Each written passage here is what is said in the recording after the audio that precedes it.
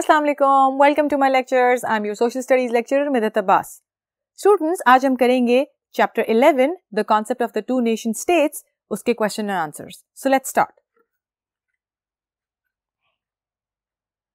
so questions and answers आज हम discuss करेंगे क्वेश्चन आंसर्स साथ साथ हम लिखेंगे मेन पॉइंट्स और फिर आप उसको लेक्चर के बाद एलैबोरेट करके डिटेल में कनेक्ट करके अपने आंसर्स लिखेंगे. So let's start the first one is why do you think was all of the subcontinent not united under any past native ruler or government? Question आपसे ये पूछ रहा है कि आपको ऐसा क्यों लगता है या आप ये सोचिए कि जो सब कॉन्टिनेंट है, जो बड़े सकीर है, वो किसी भी एक पास्ट रूलर या गवर्नमेंट किसी भी एक हुकूमत या किसी एक रूलर के अंडर यूनाइटेड क्यों नहीं हुआ अब हमने जब लेक्चर में डिस्कस किया था the background for the subcontinent उसमें हमने ये देखा था कि वेदर मुगल एम्पायर और द ब्रिटिश एम्पायर इन दोनों एम्पायर्स के बावजूद, क्योंकि ये बहुत वास्ट थी, और उसके बावजूद there were independent states princely states भी थी, और जो एडमिनिस्ट्रेटिवली इंडिपेंडेंट थी, वो एग्जिस्ट करती थी। द रीजन वॉज़ कि जो एरिया था सब कॉन्टिनेंट का दैट वॉज़ वेरी लार्ज इतने लार्ज पीस ऑफ़ लैंड को आप एक किनारे में बैठ के दूसरे किनारे तक गवर्न नहीं कर सकते, उस पर हुकूमत नहीं कर सकते, या तो आपका सिस्टम बहुत डेवलप्ड होना चाहिए, या आपके पास उतने लोग यूनाइटेड होने चाहिए। सो डेफिनेटली इतने वास्ट एरिया पे जब मुगल एम्पायर है तो there were other civilisation as well other rulers as well princely states भी थी जो खुद इंडिपेंडेंट रहना चाहती थी। So these were the various reason जिसकी वजह से किसी एक रूलर क्योंकि कॉमन पर्पज किसी के पास नहीं आया। जब कॉमन पर्पस नहीं आया कॉमन रूल नहीं आया तो कोई भी पूरे सब कॉन्टिनेंट को गवर्न नहीं कर सका। Question number two is what role did sir Syed and Allama Iqbal play in uplifting the Muslims of India question आपको ये कह रहा है कि आपने वो किरदार लिखना है जो सर सैयद अहमद खान ने और इलामा इकबाल ने मुसलमानों की अपलिफ्ट के लिए अदा किया इन द इंडिया तो सबसे पहले तो आप थोड़ी सी डिटेल दो सर सैयद अहमद खान के बारे में, कि सर सैयद अहमद खान कौन थे? Obviously he was a learned man a philosopher an educationist and he was very learned himself as well sir Syed Ahmad Khan ने क्या किया? He was in favour of united India initially but 1857 की war के बाद when he saw the reaction and behaviour of Hindus तब उन्होंने ये realise किया कि मुसलमान और हिंदू इकट्ठे नहीं रह सकते, and he gave the two nation theory in 1867 उसके बाद जब उन्होंने ये थियोरी तो दे दी, लेकिन इसको सपोर्ट करने के लिए और फिर मुसलमानों की मदद करने के लिए उन्होंने एजुकेशनली जो है वो इंस्टीट्यूट खोले। सो एजुकेशनल इंस्टीट्यूट उन्होंने ओपन किए।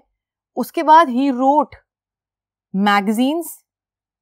and pamphlets and articles ये आर्टिकल्स जो थे, ये लिखे गए थे ताकि मुसलमानों की जो पोजीशन है, जो इमेज है in the eyes of the government जो कि उस वक्त ब्रिटिश रूल था, उनके दरमियान बेहतर हो तो उनकी पोजीशन अपलिफ्ट होगी। फिर उसके बाद इन्होंने जो एजुकेशनल इंस्टीट्यूट में उसमें सबसे इंपॉर्टेंट और सबसे बड़ा था M college Muhammad Anglo Oriental college जो कि बाद में अलीगढ़ यूनिवर्सिटी भी बना। सर सैद अहमद खान इस बात में बिलीव करते थे कि अपने आप को तालीम से रास्ता करना चाहिए। You should become education lover first आप पहले खुद तालीम हासिल करो, खुद को इस काबिल बनाओ and then you can put your things forward दूसरी तरफ़ अगर हम इलामा मोहम्मद इकबाल की बात करें तो as we know he was the poet the philosopher शायर मशरक के नाम से जब उनको जागते हैं, क्योंकि इलामा मोहम्मद इकबाल ने अपनी पोएट्री के through through his poetry he tried to awaken the Muslims of India उन्होंने अपनी शायरी के थ्रू क्योंकि उर्दू जबान उन्होंने इस्तेमाल की, वो जबान इस्तेमाल की जो कम्युनिकेशन के लिए ईजी थी और जिसको मुसलमान समझ सकते थे। उन्होंने उर्दू जबान के थ्रू मुसलमानों को जगाया, उनको जो बर सगीर की उस वक्त कंडीशन थी, जो पोलिटिकल जो सियासी हालात थे बर सगीर के वो बताए। एंड साथ ही साथ ये आइडेंटिटी भी दी बिकॉज़ ये भी टू नेशन थियोरी के जो थे वो सपोर्टर थे। इन्होंने भी ये कहा कि मुसलमानों को अपनी एक अलग आइडेंटिटी की ज़रूरत है और मुसलमानों को जागने की ज़रूरत है ताकि वो अपने लिए एक सेपरेट होमलैंड डिमांड कर सकें, जिसके अंदर वो खुल के आज़ादी से रह सकें so yes he gave his services through various forms and Ilama Muhammad Iqbal. And he was also chosen the chairman of All India Muslim League the political party जो मुसलमानों को, बड़े सगीर के मुसलमानों को रिप्रेजेंट कर रही थी he was chosen the chairman of that political party और 1930 में 1930 में इलामा मोहम्मद इकबाल ने अपना dream of a separate homeland for Muslims present किया to All India Muslim League to the Muslims of the subcontinent जिसने, जो अमली जामा था, वो पहना in form of Pakistan resolution in 1940 तो इन दोनों की जो काविशें थी, जो कोशिशें थी, वो रंग लेके आई 1940 में, जब सारे मुसलमानों ने इकट्ठा होकर पाकिस्तान रेजोल्यूशन प्रेजेंट की after seven years of that Pakistan resolution Pakistan came into be the third question is describe the contribution of mister Jinnah and Chaudhry Rahmat Ali to Muslim freedom movement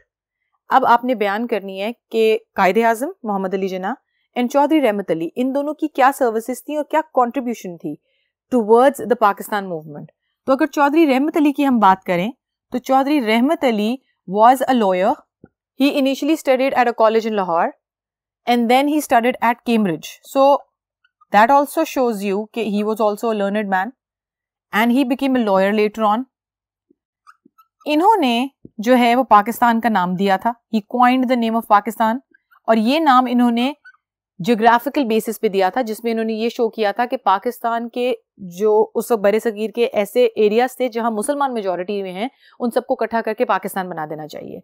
1933 में इन्होंने now और never के नाम से एक pamphlet लिखा, जिसमें इन्होंने भी ये कोशिश की कि वो मुसलमानों को बेदार करें और उनको ये बताएँ कि अभी नहीं तो कभी नहीं so they have to get up and demand a separate homeland for them क्योंकि कोई उनके लिए आके उनकी हालात नहीं बदलेगा they will have to do it themselves फिर उसके बाद उन्होंने नेशनल मूवमेंट भी एक स्टार्ट की। So yes these were the services which were provided by Chaudhry Rahmat Ali for the Pakistan movement इनको एक्नॉलेजमेंट लेट आके मिली। लेकिन how he did all the best he could do दूसरी तरफ़ अगर हम मोहम्मद अली जिना कायदे आज़म की बात करें so if you talk about mister Jinnah he was a lawyer by profession Quaid-e Azam भी लॉयर थे बाय प्रोफेशन इन्होंने इनिशियली कांग्रेस ज्वाइन की थी बट 1913 में 1913 में इन्होंने कांग्रेस को छोड़ा और 1914 में इन्होंने मुस्लिम लीग ज्वाइन की. सो मुस्लिम लीग ज्वाइन करने के बाद इन्होंने हर वो कोशिश की जिससे पाकिस्तान जो है it can come into being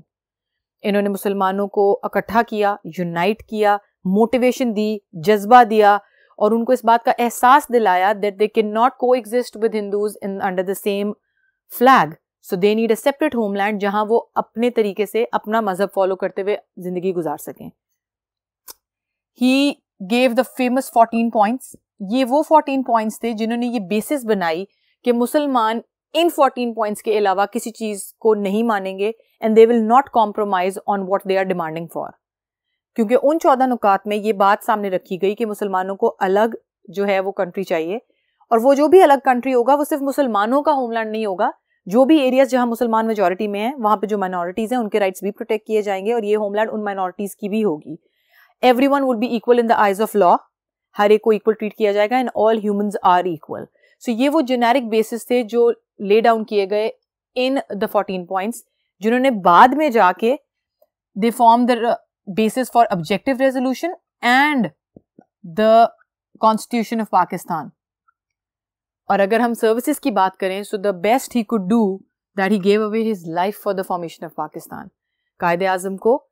जो है, वो टीबी हो गई थी tuberculosis it was a very contagious disease at that time जिसका कोई इलाज भी नहीं था और उन्होंने किसी को इस बात की खबर भी नहीं होने दी बिकॉज़ उनको ये डर था कि अगर किसी को पता लग गया तो पाकिस्तान बनने की राह में कोई रुकावट ना आ जाए। And in 1948 he passed away due to this disease TB की वजह से ही passed away so you have to connect all these points together और फिर आपने डिटेल में आंसर लिखना है। Do not miss out on any of the important point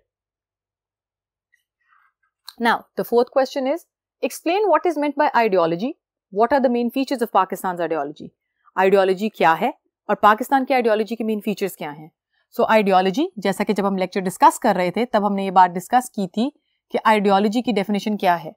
What was the definition Excellent. The name given to the set of idea ideals and beliefs which are common to a group of people और जो उनको guide भी करता है। नज़रिया, एक ऐसा set of idea जो बहुत सारे लोगों को इकट्ठा यकजा करता है, जैसा पाकिस्तान बनाने के लिए मुसलमानों को यकजा किया इस्लाम ने। इसकी बेसिस थी टू नेशन थियोरी और two nation theory was based on the fact कि Hindus and Muslims